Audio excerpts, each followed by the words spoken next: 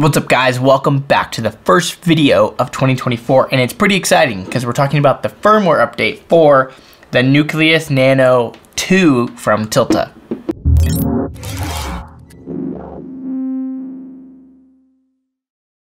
Okay, if you haven't seen anything about this new update, it's pretty cool. They fixed some bugs, they added support for the Blackmagic iPhone app, but the real thing that is amazing about this update is they added camera control for the Red Komodo.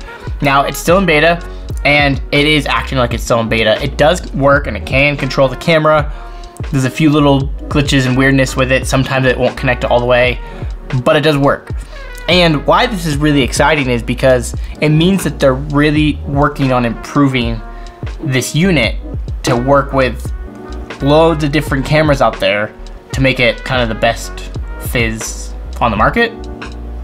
Normally you have this screen and that lets you control your zoom and focus. But if you want to control the camera, it's a simple swipe over and now you have your camera settings here. So we have your iris, which you can't control because this is a cinema lens, but if you had a photo lens, it would work.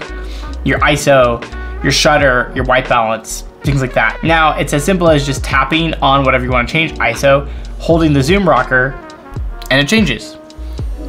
That is one thing I kind of wish it was different. I wish it wasn't on the zoom rocker. I wish it was on the focus knob. Um, also, the focus don't work when you're in this window. You have to swipe over to the focus window to regain focus control. That's one of the major, major bummers I've found with this unit is you can't even go into a menu and control the focus. It is, is gone. You have to go back to the home to control the focus. That's quite annoying. I wish that they would fix that. But the fact that you can control your camera and why this is a big deal for me is usually if I'm running a rig like this, it's on a cable cam or a remote dolly, somewhere where I can't get to it or I don't want to walk all the way over there to get to it.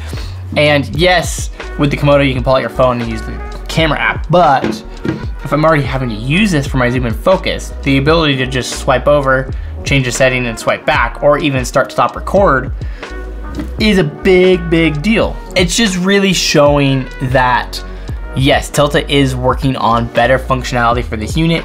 I've had a few difficulties with the unit, but I've been talking to Tilta about it and the firmware updates are getting better and better. So I have high hopes for this unit. These motors are solid and fast.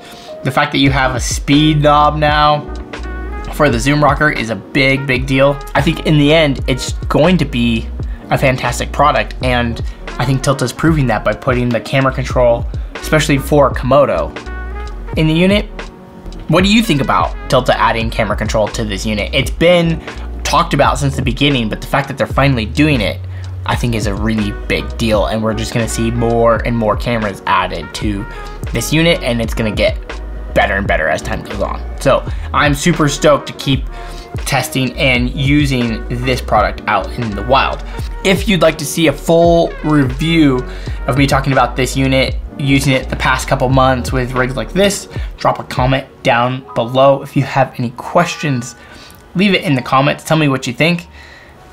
Welcome to 2024, and I'll see you in the next video.